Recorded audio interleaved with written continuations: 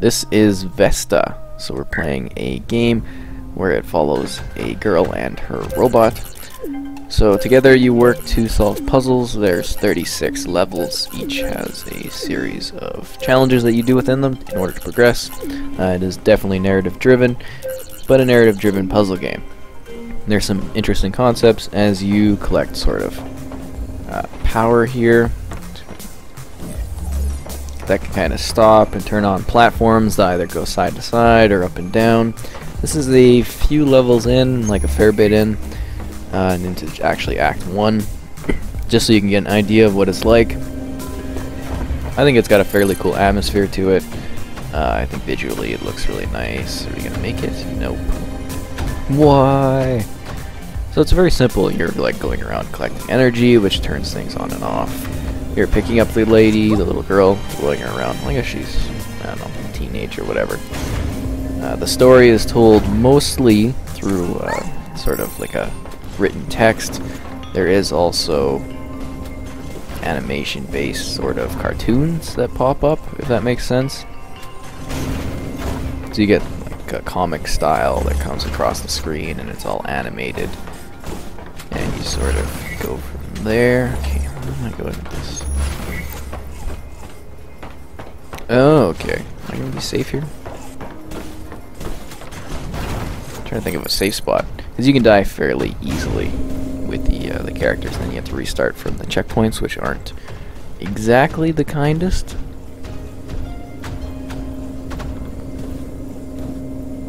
There we go, so we're gonna get in this way.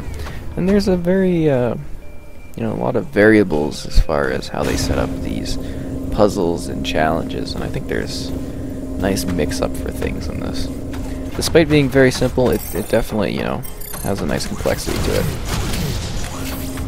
I wish the aiming was a bit better for the uh, the robot. Kind of awkward because you're locked and like you don't really have like a 360 degree firing range. You sort of are just locked to a square style, forward, backward, side to side. You get what I mean?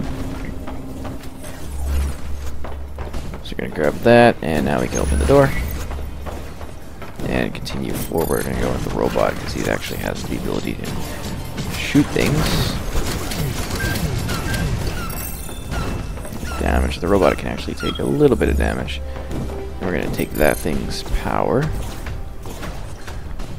So you also need kind of power to like open doors and the ending and everything like that in order to complete the level. Go, go, go! Crap. Careful here.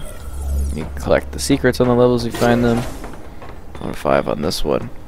I, I, like the atmosphere. It sort of has a creepy vibe to it as far as the story goes. So I'm sure there's lots of things going on kind of in the background. It's like sort of mysterious as you're progressing through this.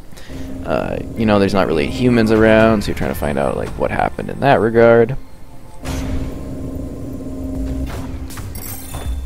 Okay, there we go. Oh, looks like we're already at the uh, the end of this one, but we don't have enough power, do we? Let's see. No, we don't have enough power. So I'm gonna go back and collect one of the power sources.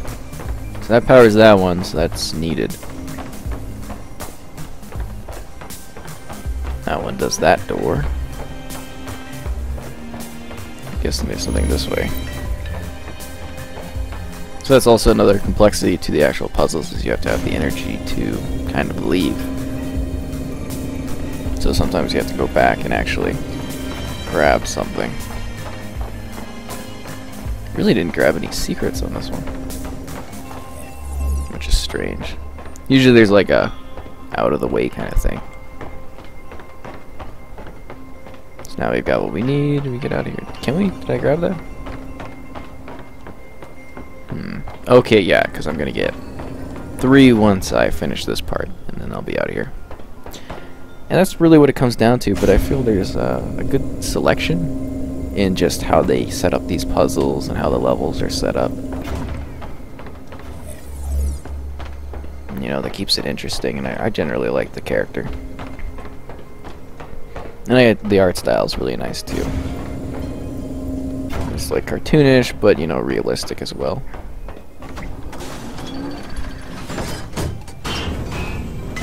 And we're onwards to the next level.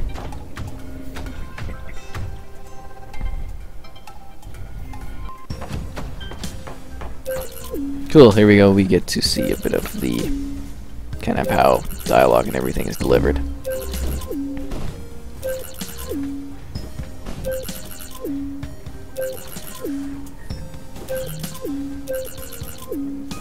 Uh-huh.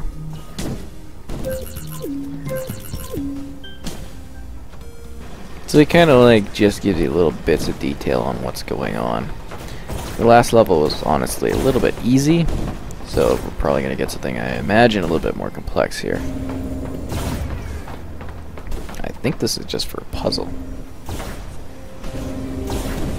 I don't like to go too far away from my, uh, or puzzle, I mean a secret. I don't like to go too far away from my robot, because I need him usually, or, yeah, need it. So I don't know if we need the power on that one. Oh, and there's like these email machines that kind of give you like details on what's going on.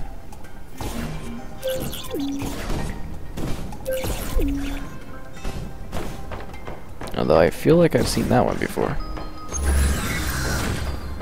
So that opens that door, but we don't have, like, even close to enough power to actually do this.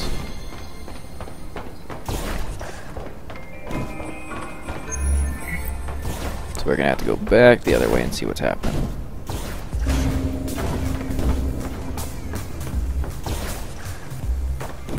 Don't want to get hit by those because we will die and then we'll have to, you know, checkpoint and everything like that. Which is an inconvenience. Uh, some of the levels, they're a little bit long and they have lots of steps. It's kind of like, ugh. That turns that off. So we grab one here, one there, one there. That's three, but... Go in here and explore. So I died there. So now you get an idea of how it looks. And as you can see, I'm like right back at the beginning. Sometimes it's a little bit more fair, but uh, for the most part, it is like really not. So everything's reset, but the secrets are not, so you don't have to redo that. So you can kind of see how they're set to certain movement patterns. How do we open this door?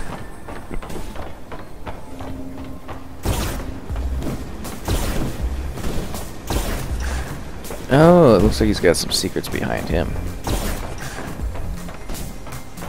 But I don't have any power. Okay, I get it now. I think I actually have to die to do this.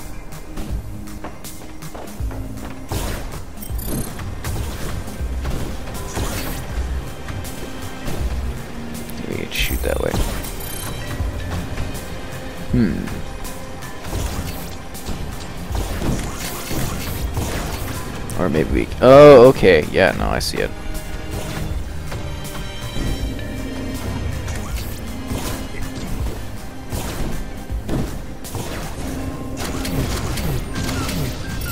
And then we gotta get the power going like this. Oh crap.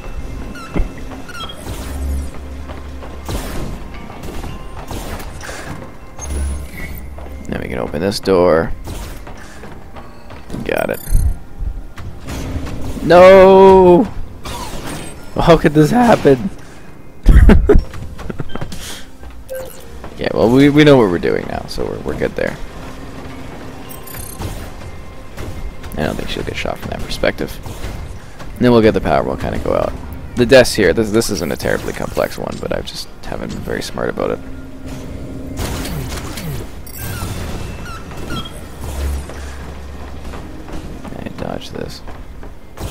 I mean, there's a lot of different types of robots. Some drop mines and move around in different ways.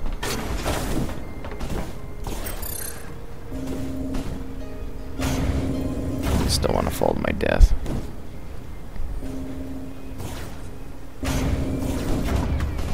Get our robot buddy over here. Ugh.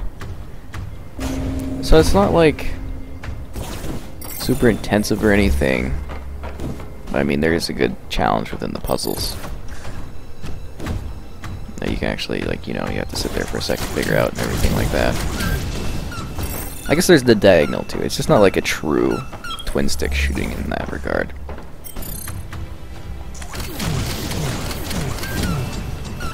Get over there, get it, get it, get it. Uh, okay. Now we'll grab the secret. And then I think we should be, oh crap, no. We're gonna need three, aren't we? Take a quick look. Yeah, okay. So we gotta go back and grab another piece here. Overall, I, I think there's like a good amount of like content to the game it directly tells you what everything is. That one's turned off. So you've actually got to go... I think of this? Get over here, robot. Power this one up. And then, you know, the level of selections is fine. You definitely get, like, you obviously gameplay out of everything. And I like the story, I like the characters, I think the environment looks lovely and just the general way that the puzzles are set up is very creative. Let's keep rolling here. Like it makes you think, but you're not going to be frustrated by anything. You're not going to have any particular issues because they're more like logic based. Kind of just got to move around the robot to take us.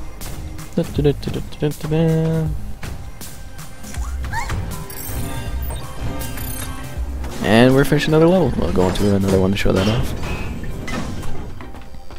Good job, everybody. Alright, so this area is a little bit larger in scale. Uh, we're going to definitely have a what's considered a boss fight, obviously, which is a lot different than the uh, typical puzzle-based levels that, you know, kind of go prior to this.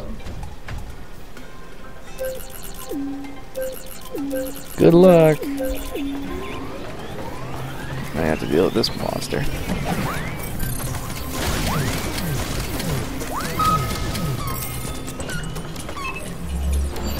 Take some of its soul.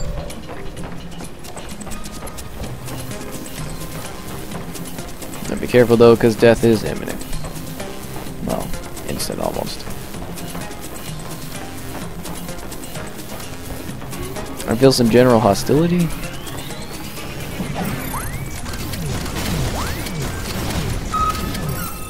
Run, run, run, run, run, run, run, run. Oh, crap.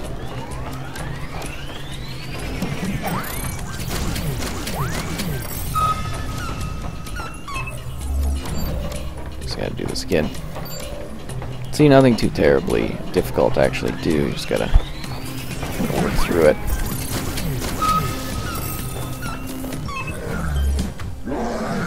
And there we go. Ugh. So I mean, it's definitely something that I think all ages could enjoy. It might be a little bit of a curve on difficulty, but it's nothing too bad. Again, very logical.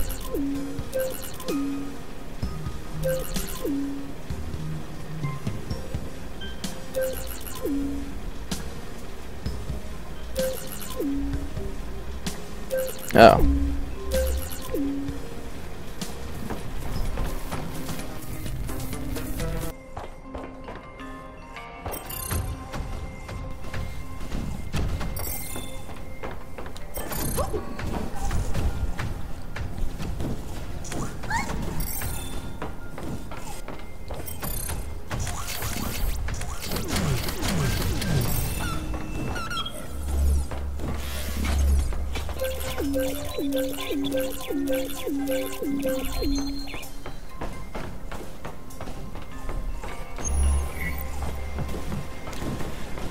Ahem.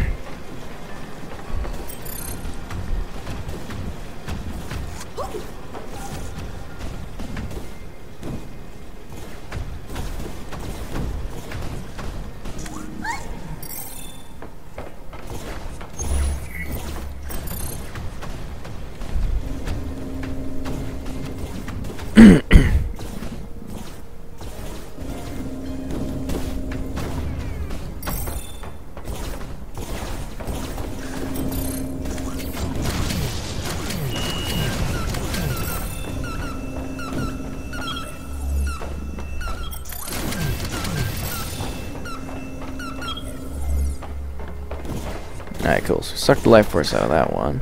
This one's still going around. You even hit that from here.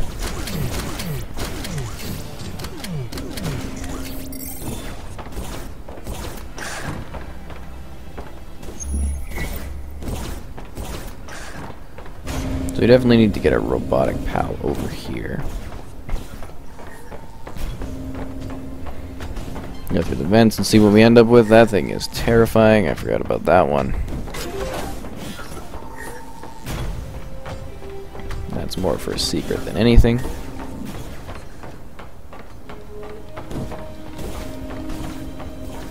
Yeah, it looks like we're gonna have to go and get two power sources.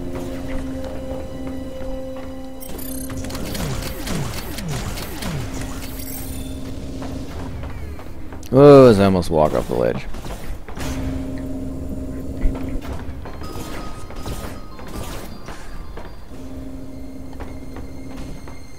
So that's malfunctioning.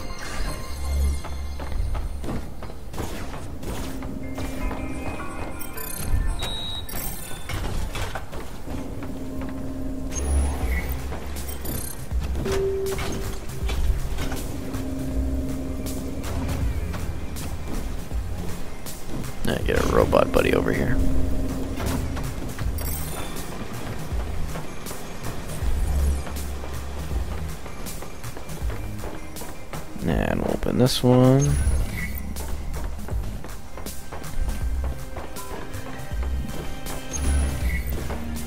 That one. We should be kind of smooth sailing right now. I think. Oh, you get like drag crates too, which I can't seem to be doing with these ones. Da -da -da yeah, this is one of the more complex levels.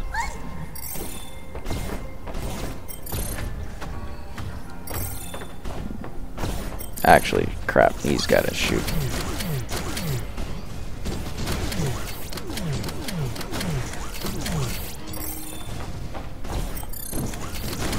Come on.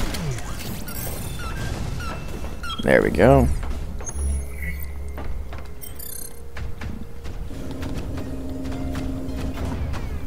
Gotta get across here.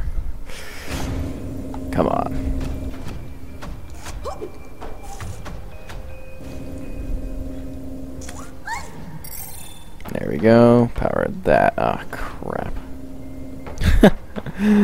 oh, wow.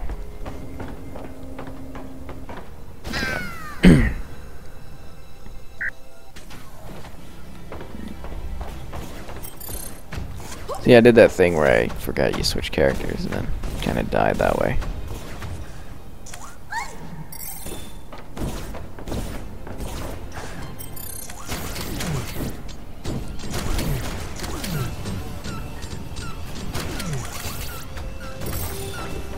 Grab that. And then our robot buddy can get across.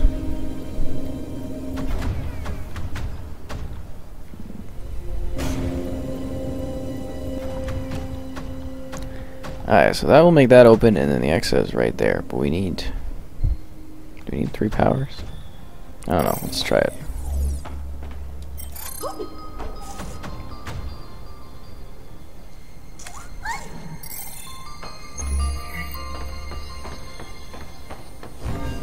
Wait, wait, wait. Let me see. One. Yeah, okay. We're good to go. We just gotta get our robot buddy. And then that's, uh... What?